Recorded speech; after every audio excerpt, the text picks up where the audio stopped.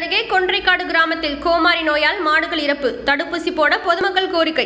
தஞ்சை மாவட்டம் பேராவூரணி பகுதியில் கடந்த ஒரு மாத காலமாக வடகிழக்கு பருவமழை தொடர்ந்து பெய்து வருகிறது.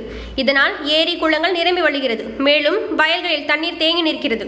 அதேபோல குடியிருப்பு பகுதிகளில் கனமழை பெய்ததால் தண்ணீர் தேங்கி நிற்கிறது. இதனால் கோழிகள் ஆடு மாடுகள் நோய் வந்து திடீர் திடீரென இறந்து விடுகின்றன. பேராவூரணி அருகே கொன்றைக்காடு கிராமத்தை சேர்ந்த தியாகராஜன் மனைவி செல்வி இரண்டு பசுமாடுகளை வளர்த்து வந்தார். நேற்று ஞாயிற்றுக்கிழமை மாலை ஒரு பசுமாடு திடீரென இறந்துவிட்டது. மற்றொரு பசுமாடு நுரை தள்ளிய நிலையில் இருந்து வருகிறது. இதேபோல காலகம் திருப்பூரணிக்காடு மிதியக்குடிக்காடு ஆனைக்காடு கிராமங்களில் நூற்றுக்கும் மேற்பட்ட மாடுகள் கோமாரி நோயால் பாதிக்கப்பட்டுள்ளது. எனவே உடனடியாக கால்நடைத்துறை சார்பில் கோமாரி நோய் தடுப்பூசி முகாம் நடத்திட வேண்டும் என கொன்றைக்காடு பொதுமக்கள் கோரிக்கை விடுத்துள்ளனர்.